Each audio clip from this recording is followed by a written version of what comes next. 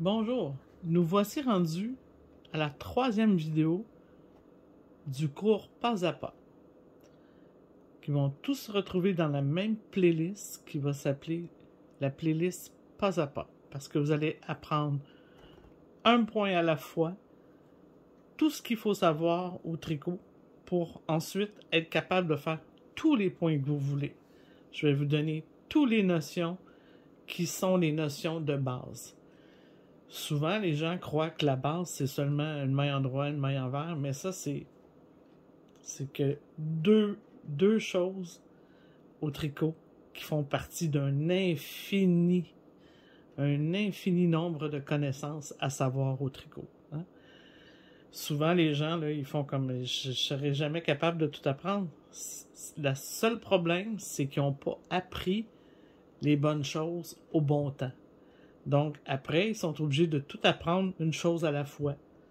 Alors que, de ma façon, vous allez être capable de tout vous débrouiller et être capable de vous, montrer tout ce que vous allez vouloir à la fin de cette playlist.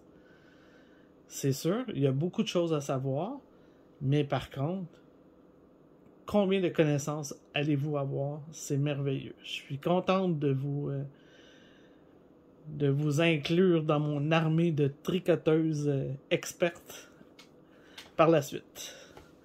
Alors, ici, troisième vidéo, nous allons apprendre à faire du jersey en droit. Le jersey en droit, c'est un point qu'on voit pratiquement dans tous les tricots. D'accord? C'est vraiment un point qui est euh, suremployé, vraiment. Beaucoup de gens le font pour plein de choses, euh, son utilité est parfaite parce que c'est un point qui a une belle extensibilité euh, et très rare qu'il va se déformer. S'il se déforme, c'est qu'il n'a pas été tricoté avec la bonne tension. Euh, et souvent, j'en ai parlé un petit peu au début de, de mes vidéos, le, le, fournisseur du premier vidéo, le fournisseur là, sur la balle de laine, lui, s'est appliqué à vous inscrire la meilleure façon d'avoir la rentabilité de son produit, c'est d'obtenir l'échantillon qui est sur la balle. Alors, si vous avez l'échantillon qui est sur la balle, très rarement vos tricots vont se déformer. Mais, pour certains produits, ça se peut des fois qu'on prenne une broche beaucoup plus grosse parce qu'on le veut plus aérien, et là, c'est là que le, le, le, problème va embarquer de peut-être tout va agrandir, tout va s'élargir, tout parce que ça, c'est pas respecté. Mais par la force des choses, pour certains patrons, il faut faire ça. Alors, ici, nous, on s'énerve pas trop avec ça.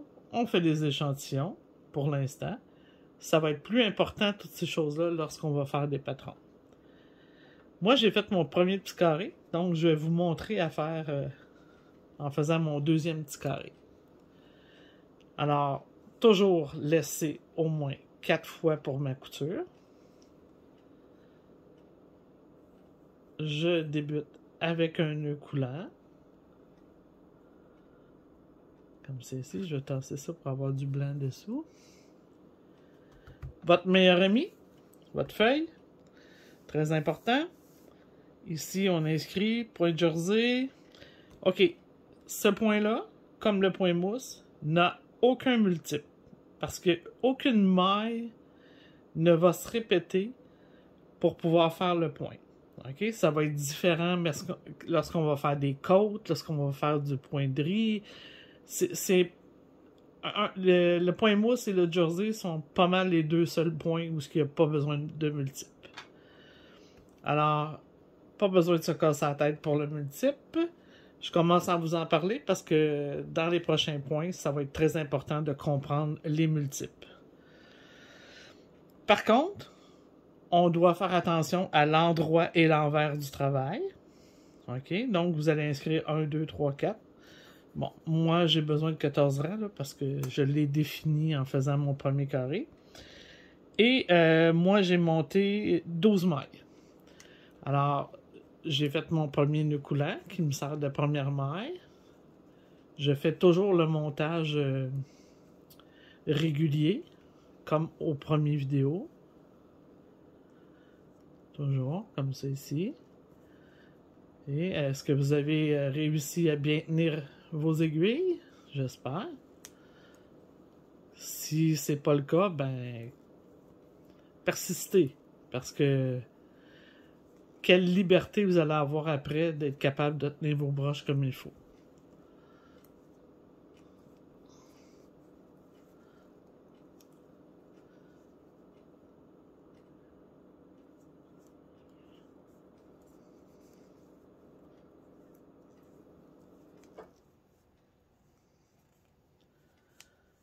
Et voilà, j'ai mis 12 mailles. 2, 4, 6, 8, 10, 12. Parfait. Maintenant, pour faire du jersey en droit. OK? Dans ce vidéo-ci, on va apprendre à faire du jersey en droit et du jersey en vert. Le jersey en droit,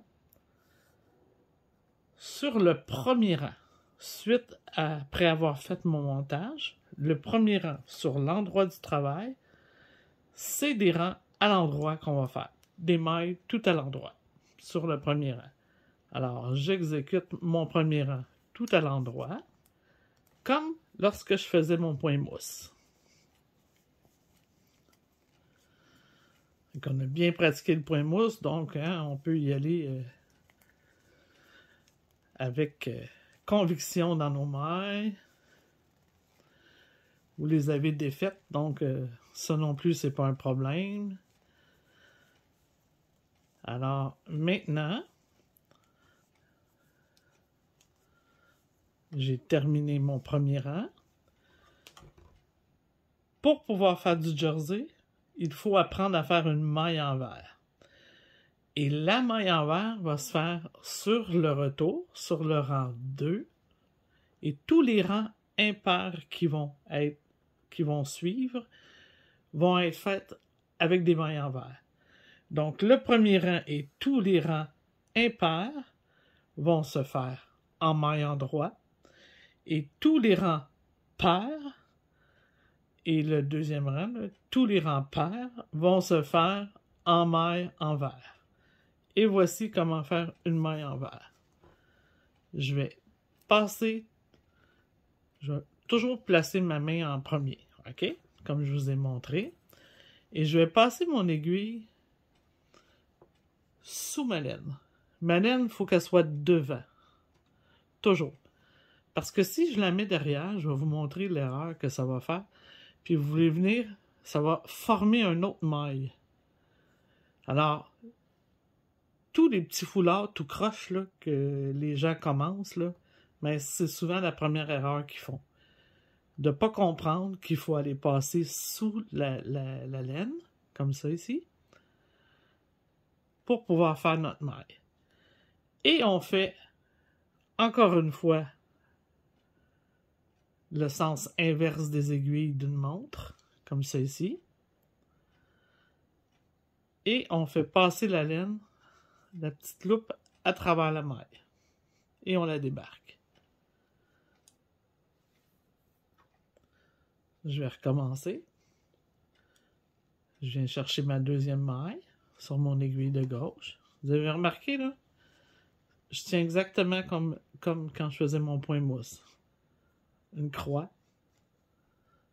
Je viens pousser ma laine avec mon petit crochet. Et avec ma main gauche, cette fois, je pivote par devant pour faire passer ma, ma maille. Même chose. Comme ça ici. Même chose.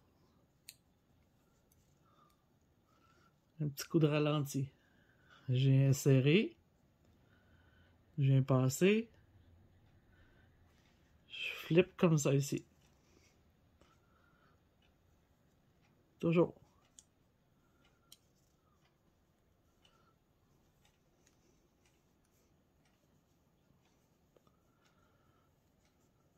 Un petit coup de ralenti encore.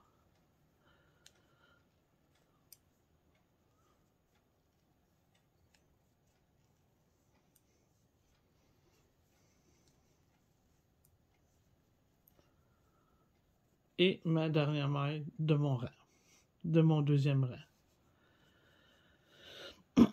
Et là, trouvez-vous un petit truc pour marquer vos rangs. Soit vous le marquez toujours après que vous faites votre rang, ce, que je trouve qui est le meilleur à faire, ou avant de le commencer. Moi, je préfère le mettre après. Et là, vous avez vu, j'ai oublié le premier. Je vais mettre le deuxième.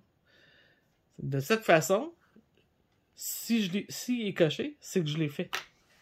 Hein? C'est pas que je vais le faire, c'est qui est fait. Et de toute façon, on a tout plein de repères, hein, vous le savez. C'est l'endroit du travail. Ici. Parce que le petit fil est à gauche et l'autre est à droite. Bon. Maintenant, on va toujours répéter ces deux rangs-là. Le rang sur impair sur l'endroit, en maille endroit, et le rang pair sur l'envers du travail, tout à l'envers. On a bien compris qu'un tricot, ça a un sens, sur l'endroit et sur l'envers du travail. Maintenant, ça roule. Ça roule, ça va toujours rouler, on veut que ça roule. Si on veut pas que ça roule, on fait pas du jersey. Je vais vous le montrer ici. Correct? Le petit rouleau, là, il sert vraiment à quelque chose. Hein? Euh, juste un petit instant, je vais vous trouver un petit modèle qui a un petit rouleau. Alors, voyez-vous ici, on s'est servi du fait que ça roule pour avoir un petit rouleau au bas de la tuque, au bas du chapeau. C'est tout mignon. Le petit rouleau, là, il sert à faire euh, mignon. Euh, vous allez voir ça souvent dans le bas d'un chandail, surtout là au niveau d'un début de tricot euh, ou d'un col. Hein, ou surtout des chapeaux. Les chapeaux d'enfants, il y en a beaucoup. Alors, c'est pour ça que le jersey, faut qu'il roule. Si on veut pas qu'il roule, ben, on va faire une bande de points mousse avant, OK, qu'on va tricoter beaucoup plus serré que notre jersey. Alors, à ce moment-là, on prend des aiguilles plus fine pour tricoter notre euh, point mousse euh, plus euh, serré. Parce que si on emploie la même aiguille pour le jersey et le point mousse, ben notre point mousse il va retrousser quand même. D'accord? Ou on va faire des petites côtes comme ceci. Hein? Alors, entêtez-vous pas à, à, vouloir faire tenir la bordure. Ça tiendra jamais. C'est pas fait pour ça. C'est fait pour rouler. Alors, maintenant qu'on le sait, on va le laisser rouler. D'accord? Alors, on poursuit avec un troisième rang à l'endroit. On va s'en faire deux autres rangs. Puis après ça, je vais vous indiquer quoi faire pour faire du jersey envers. C'est quoi la différence entre un jersey endroit et un jersey envers?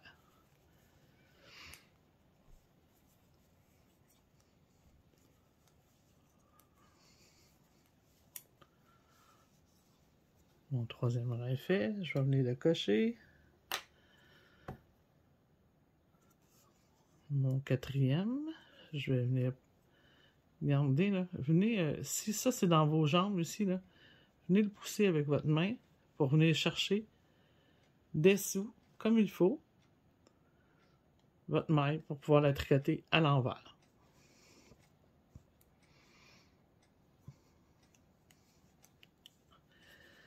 Et là, vu que vous êtes débutante, comptez souvent le résultat de vos mailles sur votre aiguille. Plus vous allez faire de vérification et plus vite vous allez vous apercevoir s'il y a une erreur ou s'il y a une maille de trop. Avant de terminer, je viens de penser, je vais vous montrer une chose qui pourrait vous arriver. puisque vous êtes plus débutante. Donc, j'ai fait mon quatrième rang. Ici, admettons là, admettons, admettons.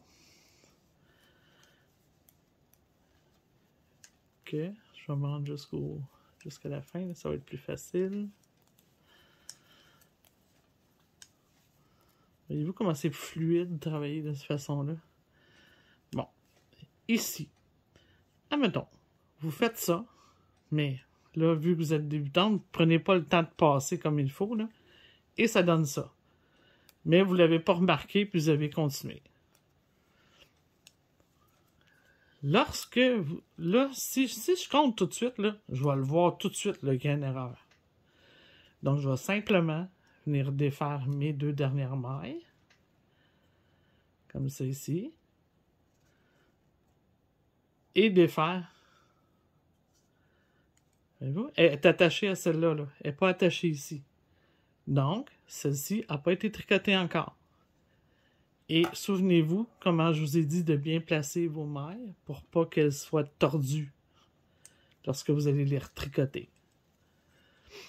D'accord? Ça, ça c'est un, un petit accident qui peut survenir. Alors, ça paraît plus. Donc, facile comme ça. Maintenant, vous allez terminer votre carré de 10 cm de hauteur. Vous allez le rabattre.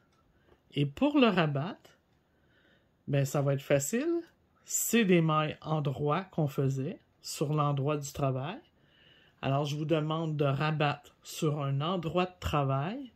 Donc, vous allez rabattre toutes vos mailles en les tricotant à l'endroit, comme sur le point mousse. Même chose. Alors, on tasse ça. Et on va venir se prendre de la laine neuve parce que je veux vous apprendre à faire du jersey en verre. Le jersey en verre, c'est simple, simple, simple. On se fait un petit nœud coulant.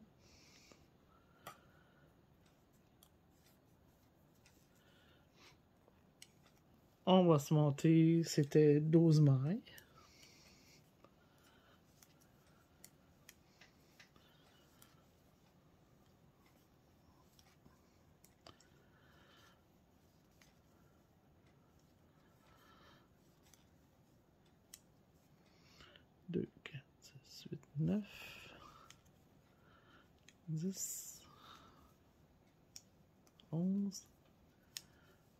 Et douze mailles.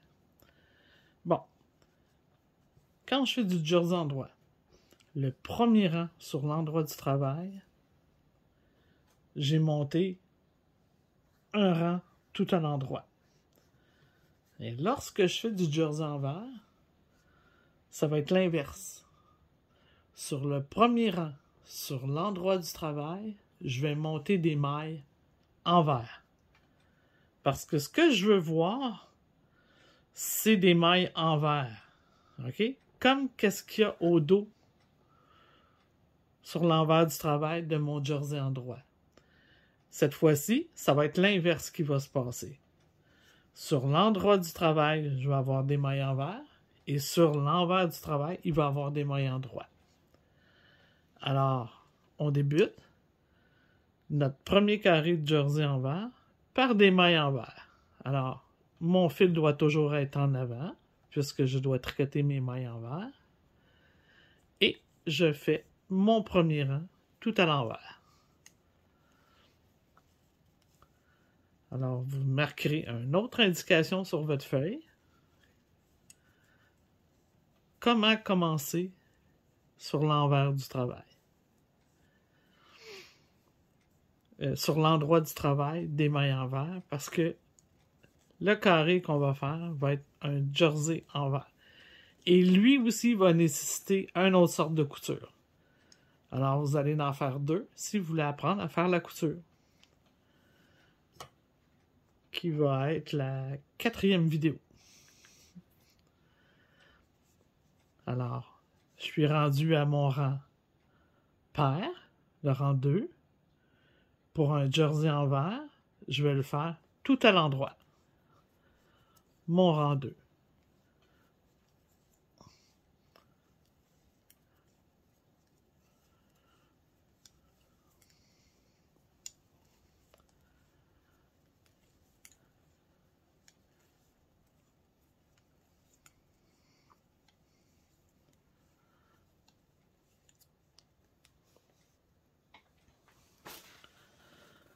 J'ai donc deux rangs de fil sur l'endroit du travail parce que mes deux cordes sont à l'opposé. Corde ici, une corde ici. Alors, je poursuis. Là, en passant, j'ai pas pris le temps d'en laisser assez pour ma couture. OK? Mais vous, si vous voulez apprendre à coudre le jersey envers, laissez-vous assez de, de fil. Donc, je suis rendu au troisième rang. Alors maintenant, je répète toujours les rangs 1 et 2. Donc, c'est un impair. Alors, je recommence mes mailles envers, puisque les rangs impairs sont tout à l'envers en jersey envers.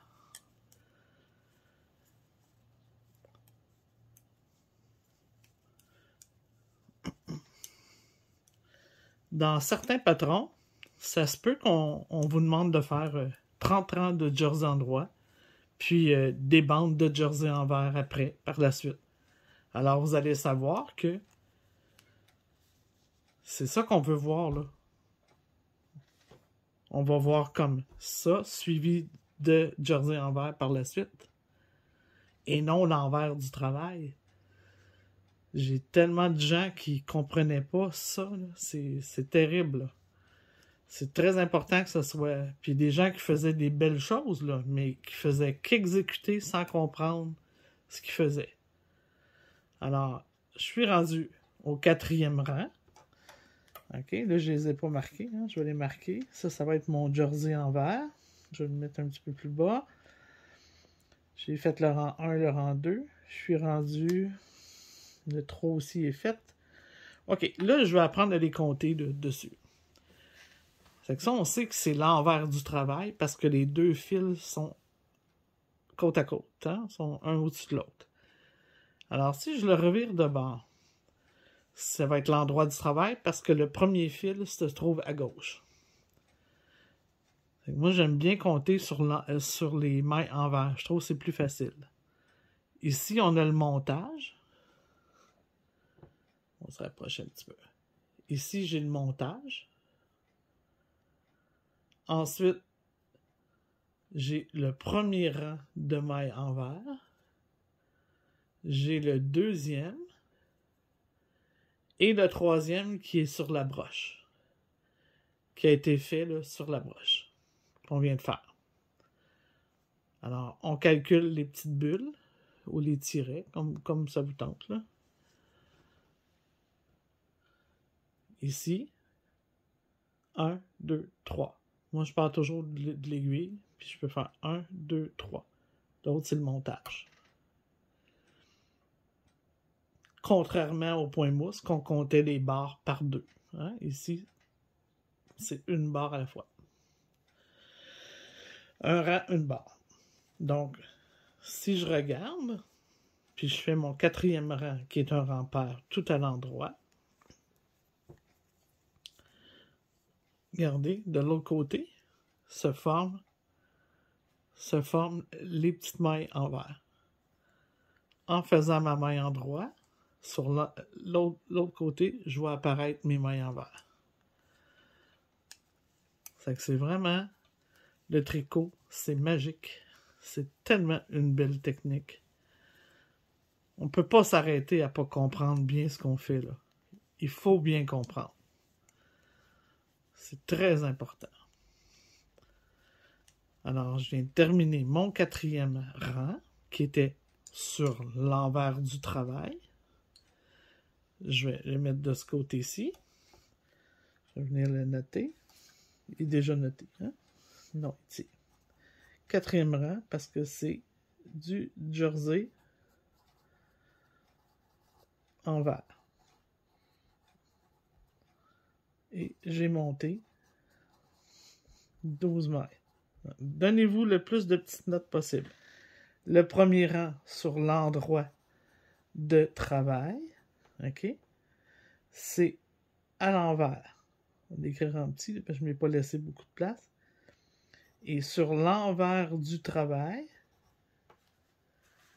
oups, j'écris puis vous ne voyez pas. Hein. Sur l'envers du travail, le deuxième rang,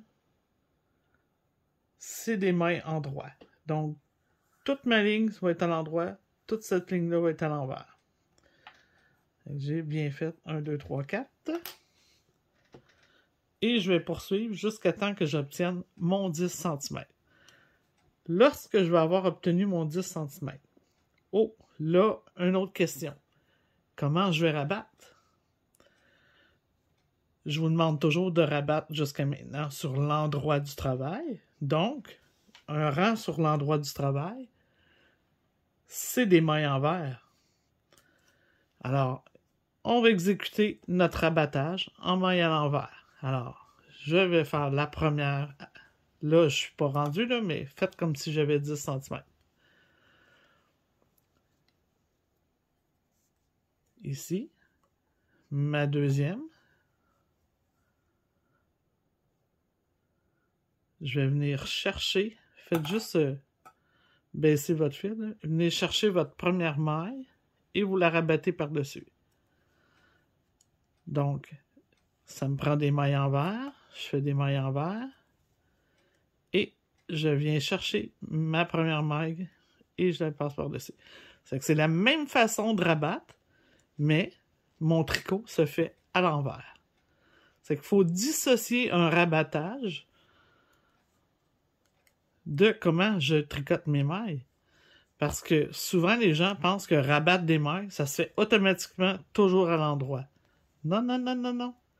Ça, c'est le, problème, c'est qu'ils ont appris à la bonne franquette sur un tricot en point mousse ou en jersey endroit. Ils ont appris à rabattre à l'endroit. Donc, après, tout ce qui va suivre dans leur vie va se terminer à l'endroit. Et non, ça dépend toujours le point qu'on a fait. Souvenez-vous de ça. La façon de rabattre va dépendre toujours du tricot qu'on fait et du rang où ce qu'on est rendu. Hein. Dans ce cas-ci, c'est encore facile parce que c'était un rang impair, donc on sait que c'était tout à l'envers. Parce que c'est du jersey envers. Et ma dernière maille. Voilà. C'est ça que ça va nous donner. L'endroit de travail. En jersey envers. Et non. Souvent, j'ai entendu les gens, mais je vais revirer mon tricot de côté, puis ça va faire du jersey envers. Non, non, non, non. Le sens du travail est très important pour les coutures après. Très, très important. Et là aussi, là, je vais vous parler d'une chose. On va commencer à parler de lisière. Quand j'ai fait mon point de jersey en droit et mon point de jersey envers, la première et la dernière maille, ok, j'en ai pas parlé au départ pour vous mélanger, mais la première et la dernière maille, si j'ai à coudre, deviennent des mailles lisières jersey. OK? Peu importe si c'est de l'endroit ou de l'envers, on sait que c'est des mailles jersey, des lisières jersey, parce qu'elles ont été tricotées en jersey. Les mailles lisières, il y en a tout plein de sortes. Et selon le tricot, le point qu'on a à faire, on va changer de sorte de maille de, lisière. Pour l'instant, on s'en tient à ça. Quand on a fait notre point mousse, vous avez remarqué, je m'ai servi de la première et la dernière maille pour coudre. Donc, mes mailles lisières sur mon point mousse étaient des mailles lisières point mousse. Cette fois-ci, mes mailles lisières sont jersey parce qu'ils ont été tricotés selon le point en jersey. C'est simple comme bonjour, c'est la phase débutant, mais de façon expert pour comprendre comme il faut. Alors, si vous voulez me suivre dans la quatrième vidéo, vous allez devoir avoir, vos devoirs vont être de faire deux carrés de 10 cm, comme celui-ci, de jersey en droit, pour que je vous montre la couture de jersey en droit côte à côte, et deux de jersey envers, toujours de 10 cm de haut, pour que je puisse vous montrer la couture de côté de jersey envers. On va apprendre les deux dans la quatrième vidéo. Alors, mon tricot, et on se revoit dans la quatrième vidéo.